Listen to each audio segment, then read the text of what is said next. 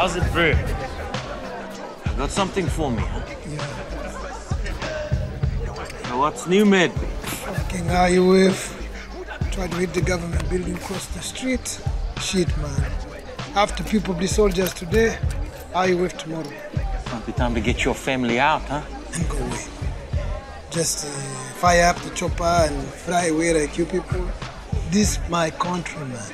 We here long for you came. Long after you gone. Ah.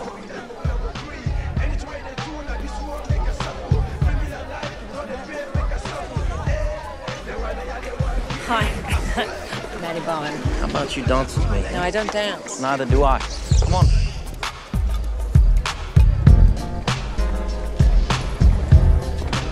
So, Danny, Archer. Archer. When did you first start moving stones? Was it Angola? then you did the whole um, mercenary thing. Is that fun? Hmm. So, what are you? Nihilist? Opportunist? Maybe I wasn't breastfed as a child, huh? Think I haven't met people like you before? I think you get off on people like me. Thanks. Oh. When did you first start working for Van De Kaap? Christ, you never stop, do you? No. I never stop. Do you want me to stop? Why don't we go back to your place? See what's in the mini bar, huh? I'm a print journalist. I drank it. Is it possible that you don't care how many people die because of the deals you do?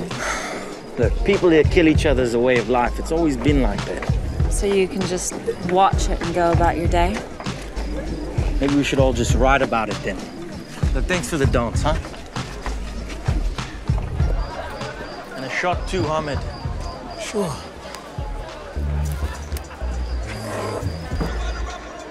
You're a hard case, huh?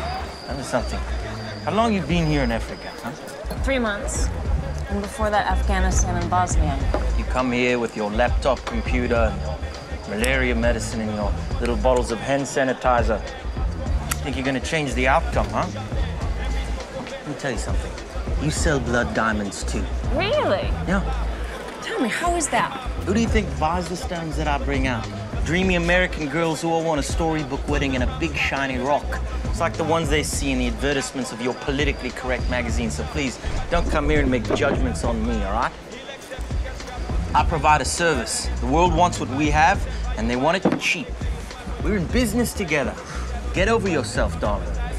Okay, just to clarify, not all American girls want a storybook wedding, just like not all Africans kill each other as a way of life. And yeah, it's a shit, shit world. But you know what? Good things are done every day.